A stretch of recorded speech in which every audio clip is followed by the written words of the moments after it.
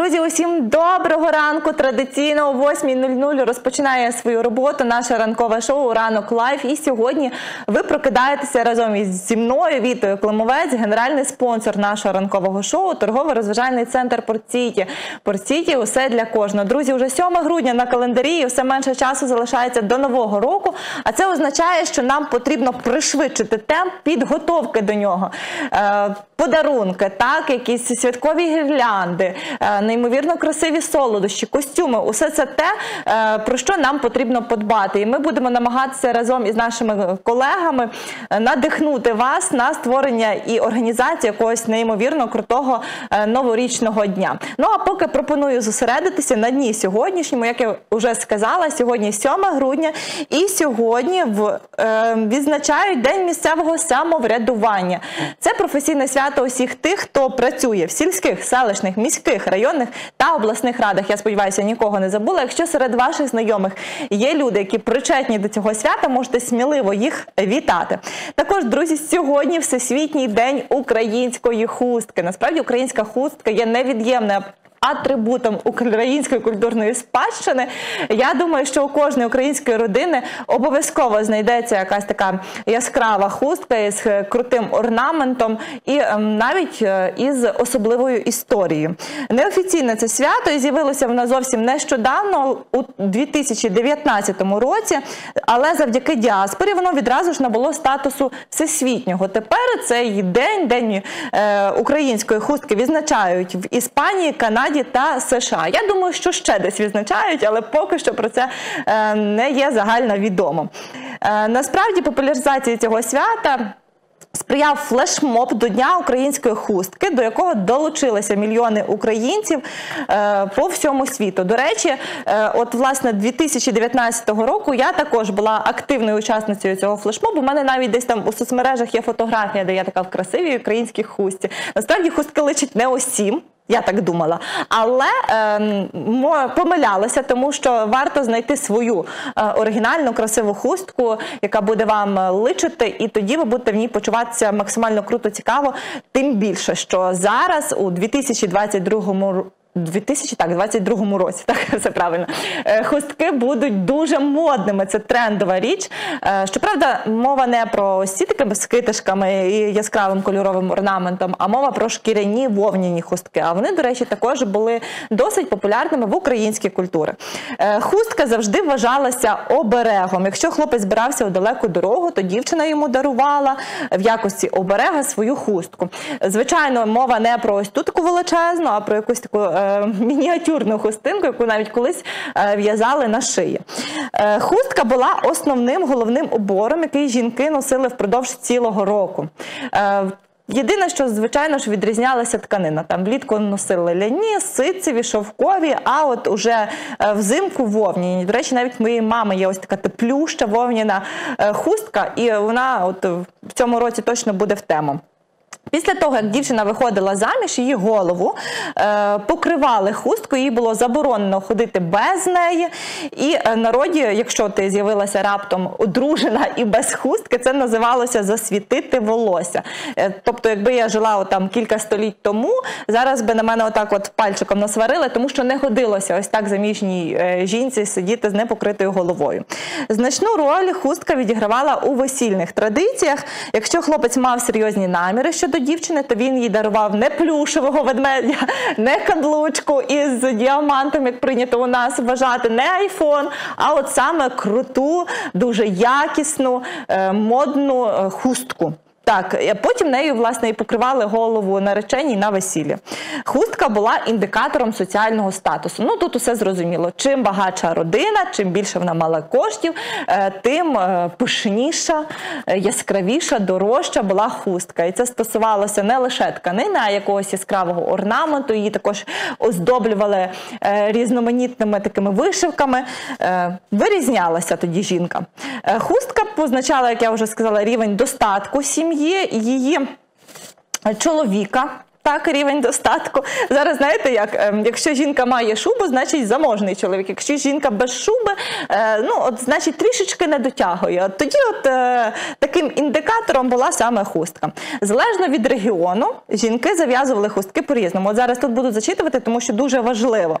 Наприклад, на півночі її в'язали під підборіддям, а кінці зав'язували на маківці. Ну зараз би це виглядало досить дивно. Тоді от е, було модно.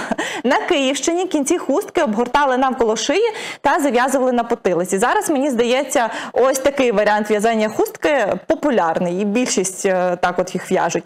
На території середнього Подніпров'я хустку драпірували навколо голови, але так, щоб залишити залишити відкритим денце очіпка. Ну я поки що не дуже це уявляю. Треба якось буде біля зеркала спробувати. Ну і що ще? Хустки були і фабричними, і домотканними. Ті, хто не вміли їх ткати, е, ішли і купували у тих, хто вміє це робити, або ж е, фабричні. Е, На верстатах ткали однотонний квадратний відрізок тканини і нав'язували на ньому е, тороки. Інколи кінці хустки вишивали однотонними або різнокольоровими нитками, їх залишали на свята або для урочистих подій. Я скажу, що у моїй сім'ї.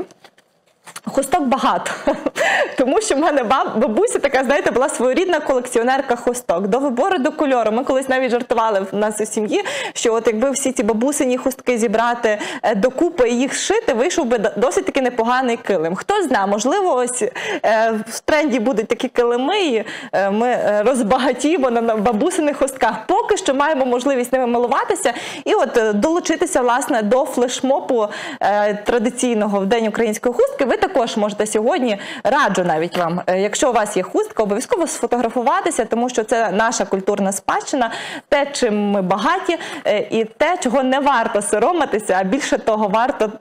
Пишатися ним. Я не знаю, чи є у нашої сьогоднішньої гості е, хустка українська, але точно знаю, що у неї є талант до приготування неймовірно крутих десертів, зокрема зефіру, тортів та панкейків. Це факти. І е, мова про Анастасію Чурак, розмова з якою буде уже за мить.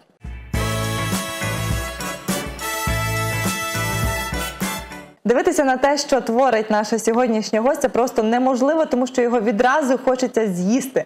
Неймовірно красиві, заворожуючі. Я переконана, дуже смачні солодощі авторства Анастасії Чурак не залишають байдужими нікого. І ви, і я зараз, я думаю, в цьому переконаємося. Доброго ранку, Анастасія. Доброго ранку. Е, Ви відразу мене вирішили підкупити, так? Не так. Розмова в будь-якому випадку складеться. Е, З чого розпочалася ваша історія в Ем, кондитерстві? Моя історія розпочалася з декрету. Е, Коли моїй донечці був один рік, я вирішила прийняти участь в спортивному марафоні. Як не дивно, солодощі з'явилися завдяки так. спортивному марафону. Е, Нам на сніданок можна було 40 грамів зефіру. Я зефір обожнювала просто завжди. Але як народила дитину, в принципі, практично перестала їсти солодке, і він мені здавався надто приторним. І почала шукати рецепти. Е, Здивувалася, чому він має стільки цукру, так е, тому що в деяких рецептах по пів кілограми цукру, і я думаю, боже, і 40 Тобі грам 40 грам багато, так? да, це дуже багато, думаю. І е, почала експериментувати і створювати власні авторські зефірки.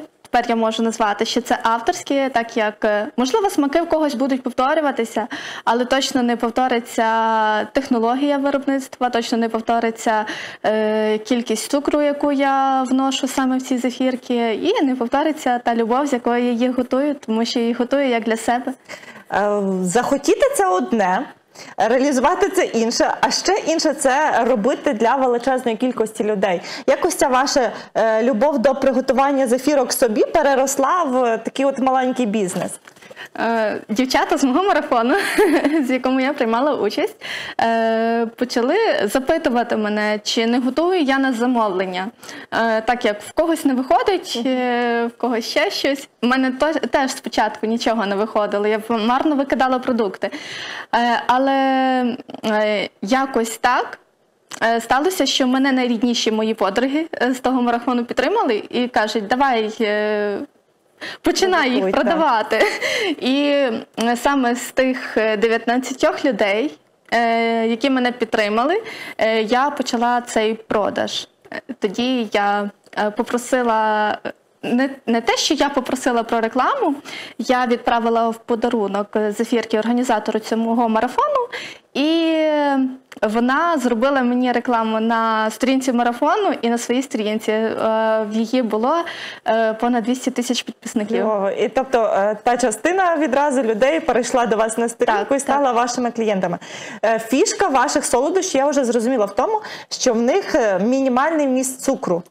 Не всіх солодощів, а саме зефірок. Я експериментую, звичайно, із цими солодощами, наприклад, капкейками, тортами, чизкейками. Я можу знижувати кількість цукру в е, цих десертах в межах розумного. Ну, критично без цукру робити я е, не можу. Якось і не планувала робити десерти без цукру, бо Солодощі десерт мають бути це солодкими, свято. Так, десерт це свято. Я думаю, що е, раз в рік собі та й можна дозволити.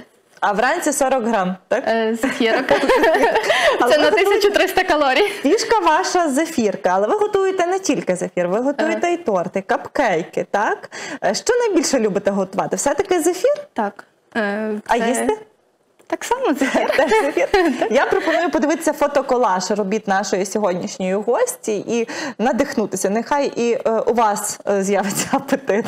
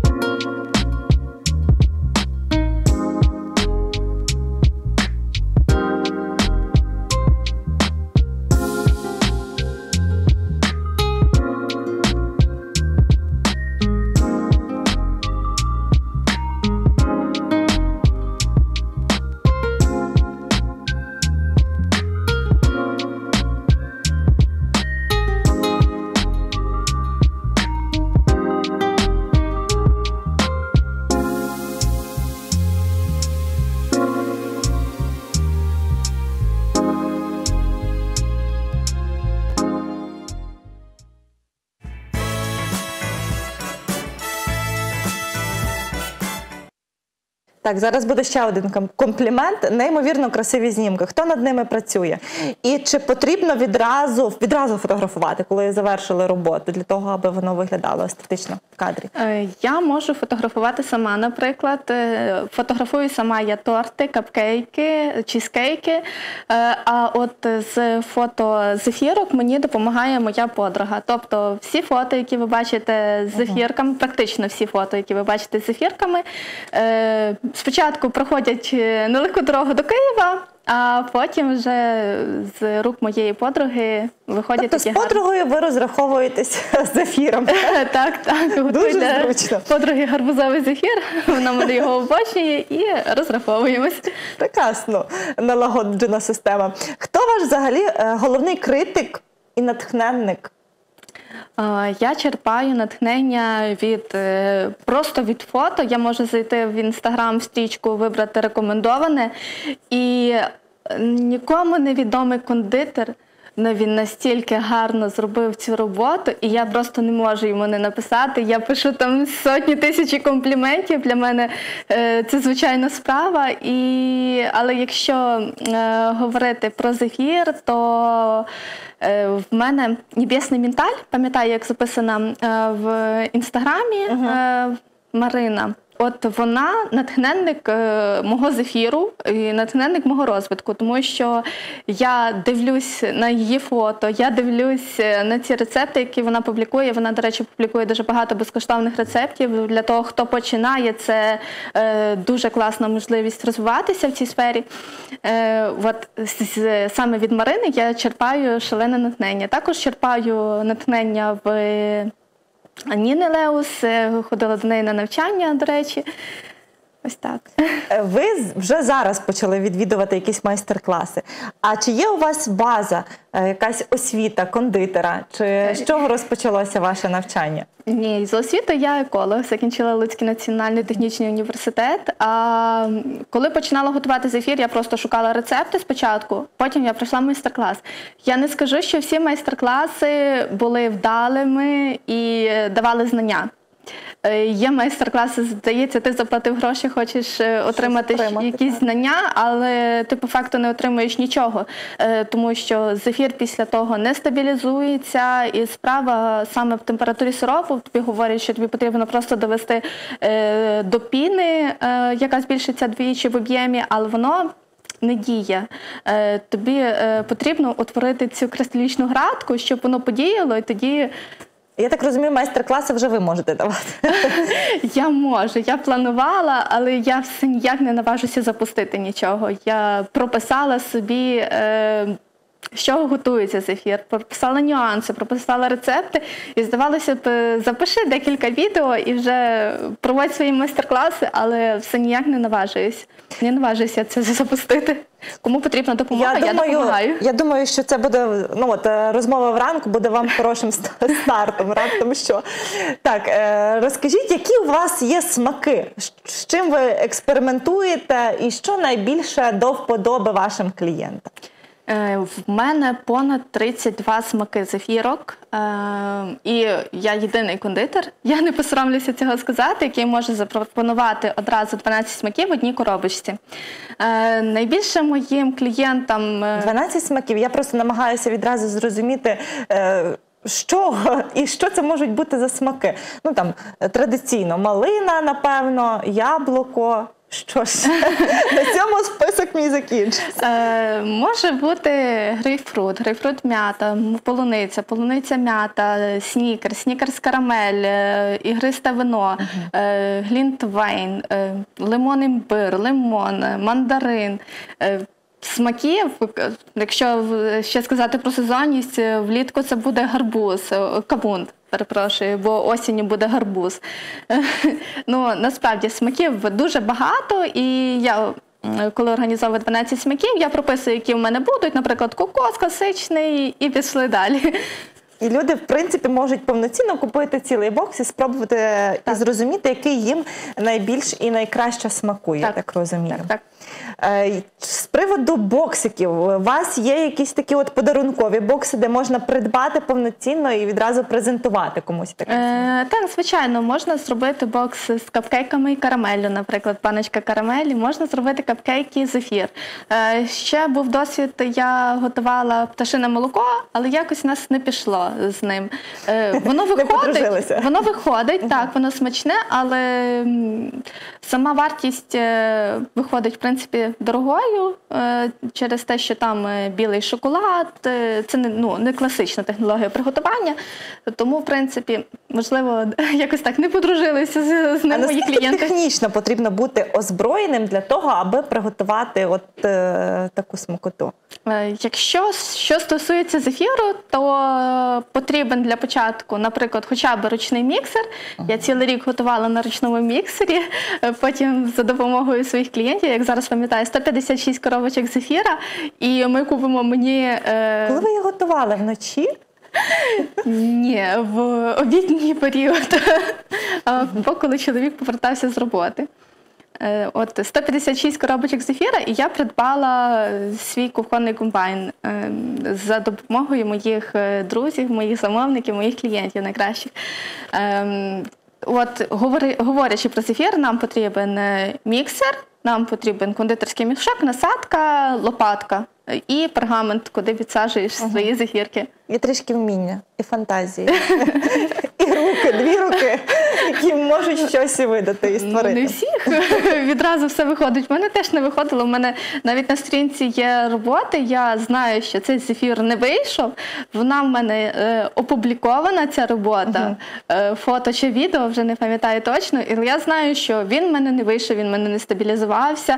Е, це не зефірка, а колодязь. Але картинка красива чи ні? Чи це Е, помітно по картинці? Я собі, як майстер, я знаю, я думаю, що майстри, е, майстри цієї справи також е, помітять, що він не стабілізувався, що він порожній всередині, можна сказати.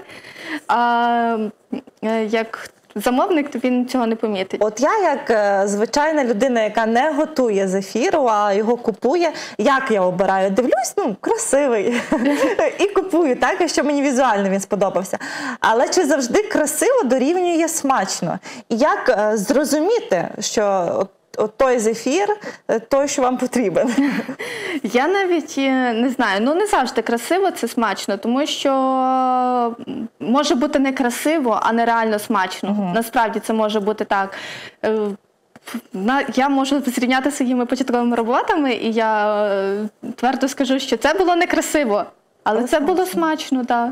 І так само я можу дуже гарно відсадити, а він не стабілізується всередині. Я перед зборкою помічаю, що він нестабільний всередині, я не відправлю це замовнику, але він візуально гарний. Де ви діваєте ось ці всі зефірки, які не їдуть замовнику? Хто е, має право з ними е, поквитатися?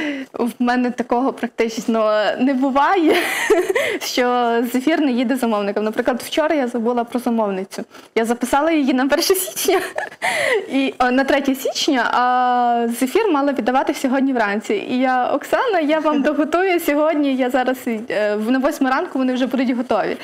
Е, вот. І ті зефірки, які залишаються, або їм я, або їсть моя дочка, або їсть мій чоловік. Перший куштує? От е, приготували порцію, розумієте, що треба дати на пробу, так як у нас прийнято говорити.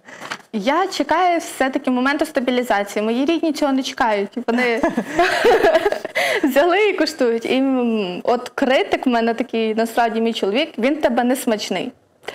Е, добре. Ой, би мій получив за таке, за таку-то критику.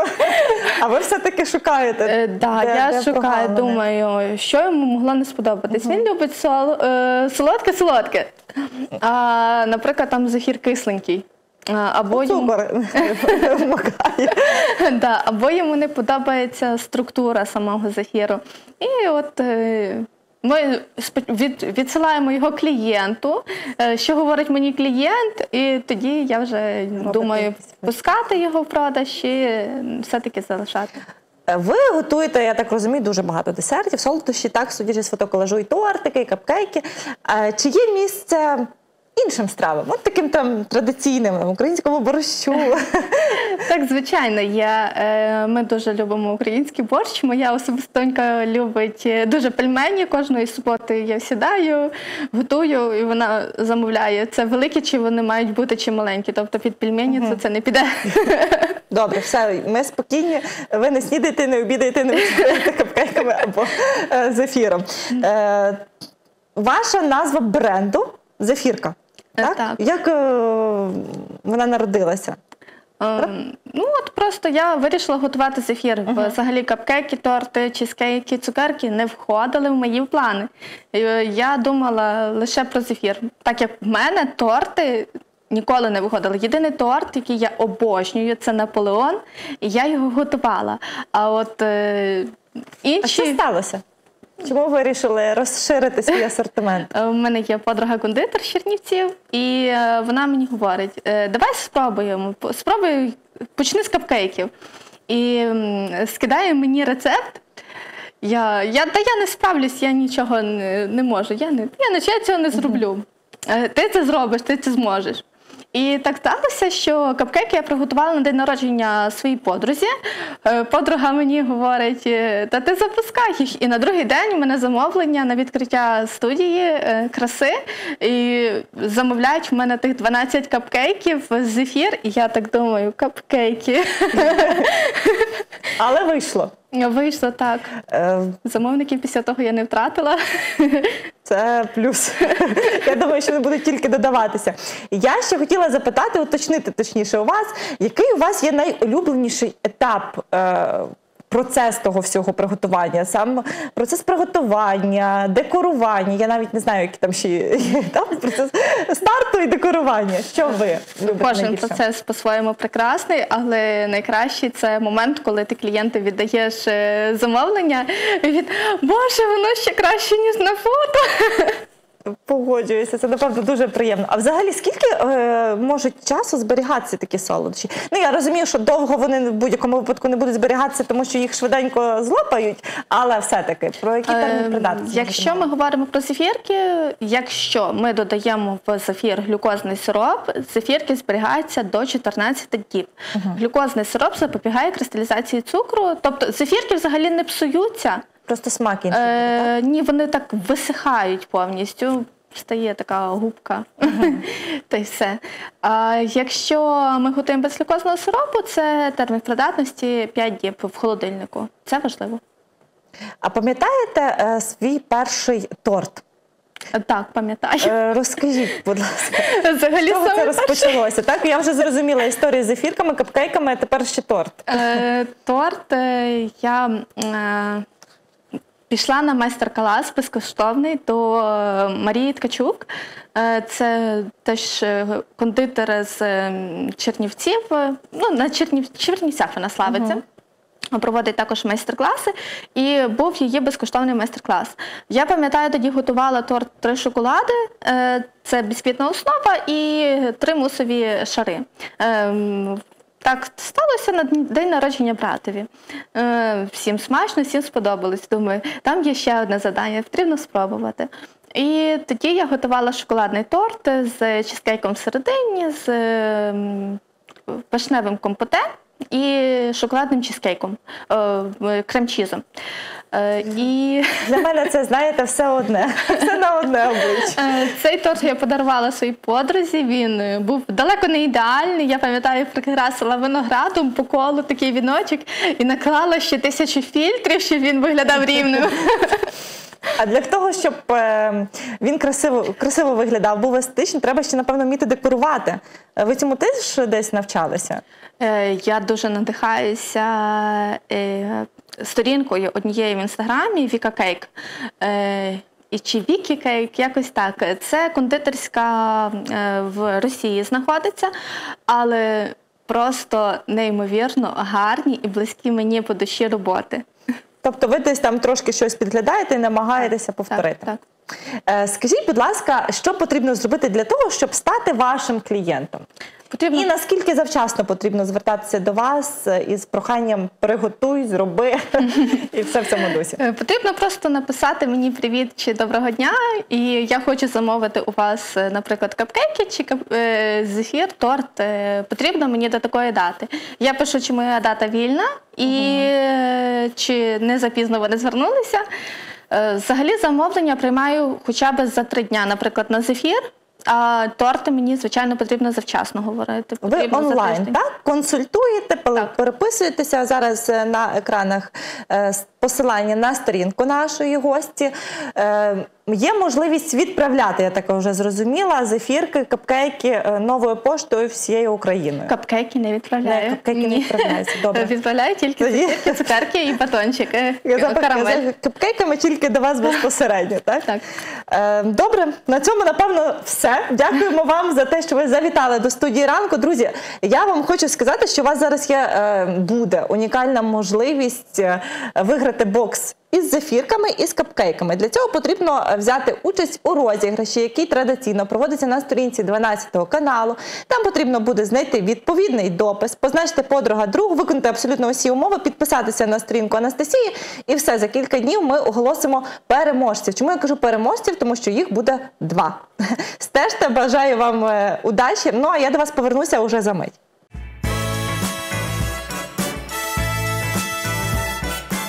Цей малий хлопець котить візок вулицями Глухова і продає з нього голки, наперстки та інший дріб'язок. Він син крамаря і на останні мідні п'ятаки вчиться у повітовому училищі. Хлопець ще не знає, що стане найзаможнішою людиною Глухова, а потім і України, що стане мером цього міста. Навіть не підозрює, що колись його назвуть найзначнішим меценатом свого покоління.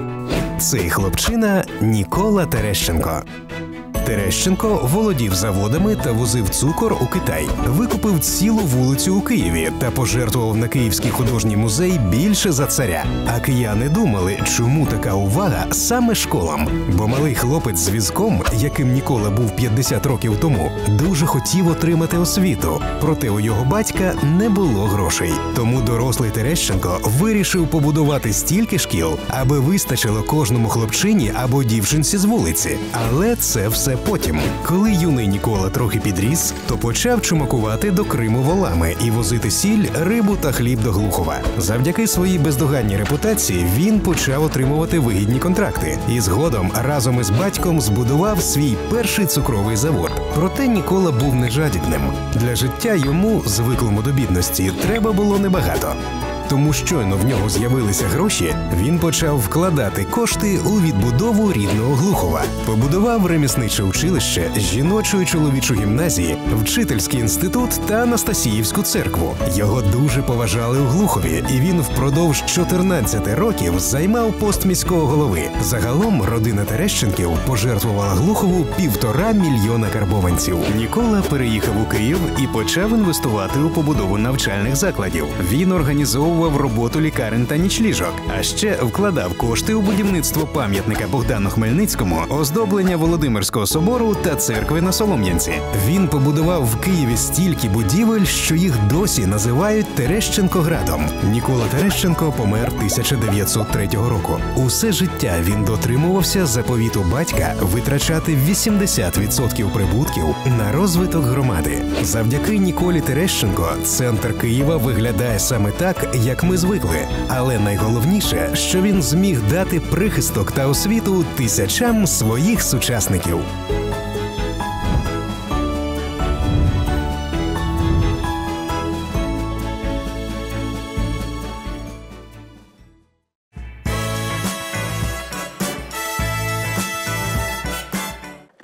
Ранок вівторка на 12 каналі. Сьогодні разом з вами прокидалася я, Віта Климовець, генеральний спонсор нашого ранкового шоу торгово-розважальний центр Портсіті. Портсіті усе для кожного. Я сподіваюся, що ви почерпнули з нашого ранкового шоу свою таку дозу натхнення та заряду мотивації.